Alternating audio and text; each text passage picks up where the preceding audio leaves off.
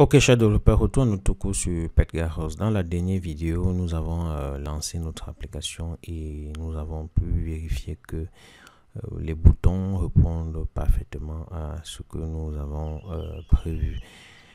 Alors, je l'ai dit tantôt dès le début de cette vidéo, nous sommes en train de travailler sur ce qu'on appelle un proof of concept, c'est-à-dire on fait une démonstration de la faisabilité de ce que l'on envisage. Et après, on monte en puissance. C'est comme ça que beaucoup de programmes sont conçus. Et on va du plus petit élément et on monte en complexité. Donc, c'est la raison pour laquelle, euh, après euh, un pareil texte, nous devons encore mieux renforcer euh, notre, notre maquette.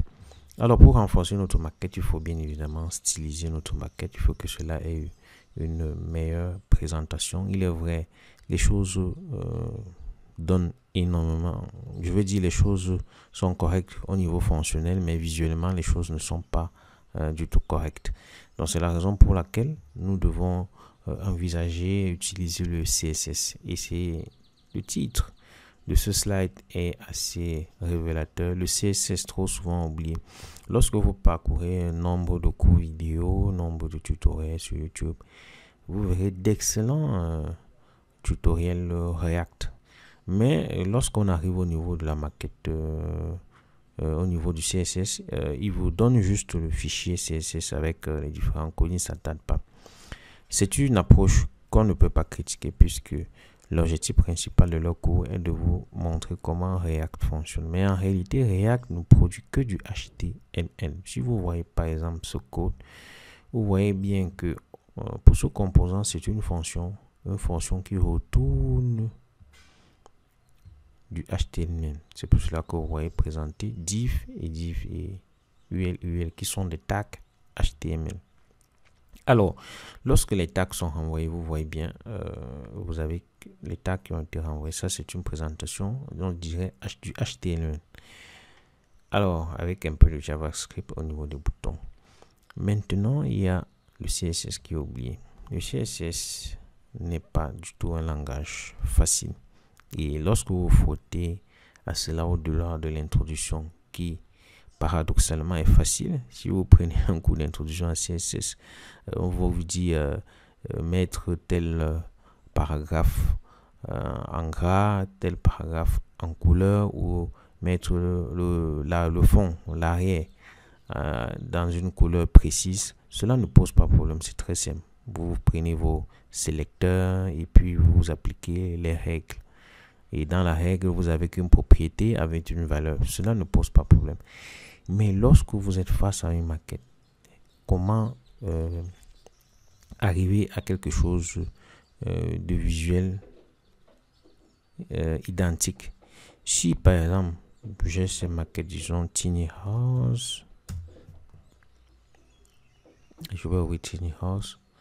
Si l'on vous présente par exemple euh, la maquette Tiny House, comment est-ce que on peut utiliser du CSS pour arriver à quelque chose de similaire? C'est à ce niveau que beaucoup de développeurs se cognent les temps, arriver à quelque chose de similaire en partant du maquette, obtenir quelque chose de similaire. Et euh, pour vous dire la vérité, euh, c'est avec du temps qu'on arrive à être parfait. Mais les développeurs ont bien évidemment, React ont trouvé des raccourcis. Alors les raccourcis consistent à installer des librairies qui nous fournissent des composants déjà stylisés, des composants prêts à l'emploi, qui ont déjà du CSS intégré si vous voulez. Alors le premier composant qui est très utilisé par les développeurs, c'est Material UI. Material UI est un, on peut dire une librairie qui vous fournit des composants prêts à l'emploi. Vous n'avez pas seulement matériel il y en a pléthore. Prenons l'exemple, par exemple, si je voulais, hum, prenons l'exemple de mon application.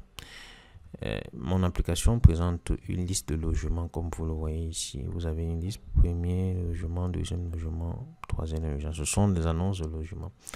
Si j'avais euh, envie de utiliser par exemple matériel UI, je serais venu ici en cherchant au niveau input sont des composants liés à l'entrée de données. Et bien évidemment, vous avez les composants liés à la mise en page. C'est layout, input pour l'entrée de données, navigation pour la navigation, surface, feedback. Euh, supposons que je voudrais euh, afficher des données data display. Vous voyez bien liste. Après installation de la librairie, je serais venu ici et j'aurais fait le choix d'un composant en fonction de ce qui est proposé. Vous avez plusieurs variations. Vous avez une liste simple, euh, une liste imbriquée, nest list, une liste de dossiers, une liste interactive et ainsi de suite. Une liste alignée, une liste de contrôle.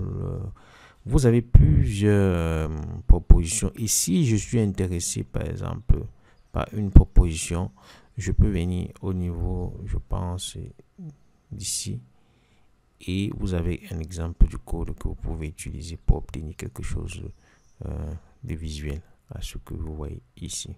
Donc,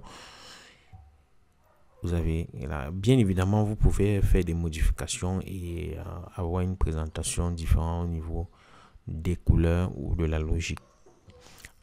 Vous avez aussi une autre librairie qui est, similaire à Matériel en Design qui propose aussi des composants prêts à l'emploi. Vous avez presque la même structuration avec euh, des composants généraux, que ce soit les boutons, les icônes, la typographie, les composants de mise en page et de navigation. En règle générale, presque tous ces librairies sont similaires au niveau de la proposition. Peut-être les variations peuvent changer, mais c'est assez proche. Donc, vous avez là, euh, en réalité, par exemple, un composant 4 qui est fourni par la librairie React Bootstrap donc, toutes ces librairies vous offrent des possibilités d'avoir quelque chose de visuel, quelque chose correct visuellement et euh, de, de ces composants très rapidement pour euh, avoir une première interface pour votre euh, application. Bien évidemment,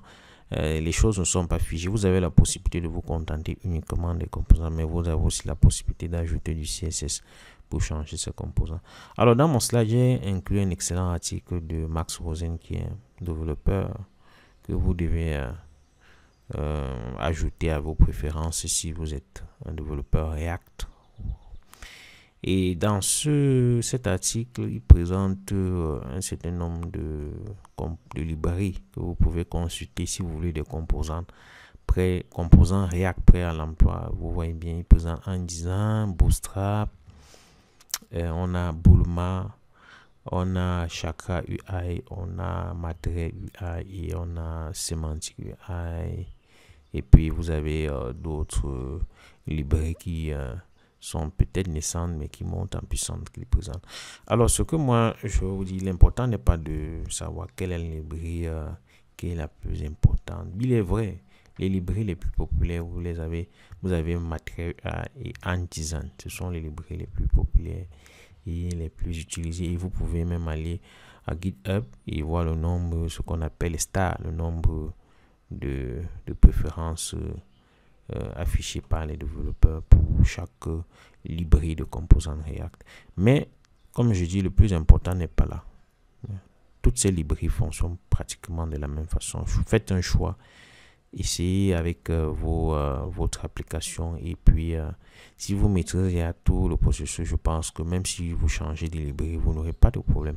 Mais comme je l'ai dit tout le temps, la documentation est un point très important. Quand vous apprenez à lire la documentation, c'est une compétence. Apprendre à lire la documentation, ce n'est pas du tout facile. Il y a des technologies qui ont des documentations un peu stériles et c'est souvent difficile de se retrouver là-dessus. Mais vous pouvez faire des vas-et-vient entre YouTube, entre les tutoriels et la documentation.